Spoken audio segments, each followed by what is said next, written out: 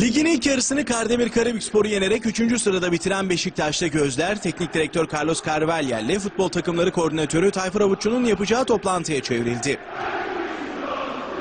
Tayfur Avuççu ve Carlos Carvalho'nun hafta başında bir araya gelerek siyah beyazlı takımın son durumunu, transferleri ve sakat futbolcuların son halini masaya yatıracakları öğrenildi.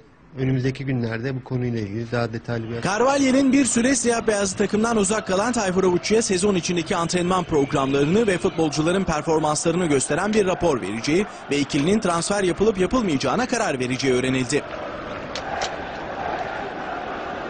Portekizli teknik adamın takıma takviye yapma konusunda kararsız olduğu Beşiktaşlı yöneticilere Quaresma, Simao ve Ersan Gülüm'ün dönmesiyle kadromuz güçlenecek. Bebe'nin durumuna göre son kararımızı vermeliyiz dediği belirtiliyor. Beşiktaş'ta transferde bu gelişmeler yaşanırken Gardemir Karabükspor maçı sonrası yabancı futbolcuların yılbaşından sonra İstanbul'a dönelim teklifi ise teknik direktör Carlos Carvalho'dan geri döndü. Portekizli teknik adamın futbolcularına 29 Aralık Perşembe günü herkesi İstanbul'da görmek istiyorum. Ekstra izin yapmanıza izin vermiyorum yanıtını verdiği bildirildi.